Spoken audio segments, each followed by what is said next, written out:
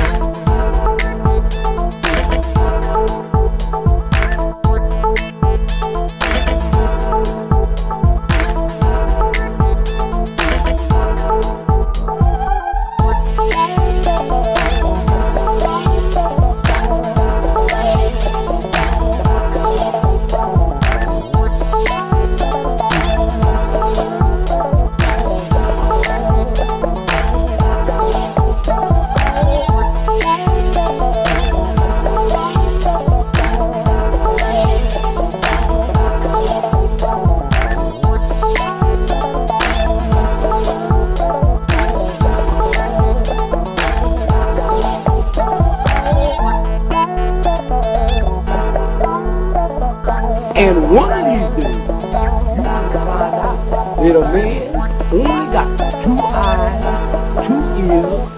two hands, and two feet, and only one mouth, which means he should see, hear, work, and walk twice as much as he talks.